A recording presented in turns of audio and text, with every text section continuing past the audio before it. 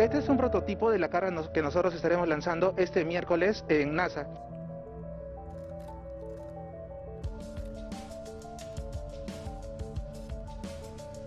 Ahí está.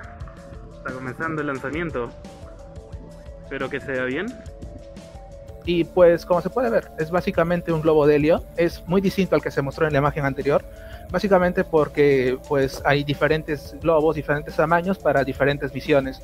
Todo apunta a ver de que en la estratosfera se puedan detectar elementos nocivos y ver las fuentes, de tal suerte de no, eh, digamos, propiciar este calentamiento ambiental.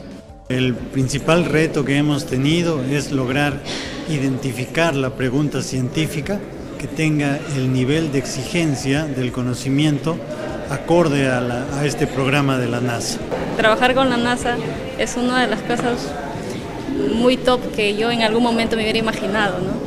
pero definitivamente no hay nada imposible y cuando uno quiere hacer las cosas no estamos pensando esto más allá, pero las hacemos, entonces de a pocos vamos logrando esto subir poquito a poquito.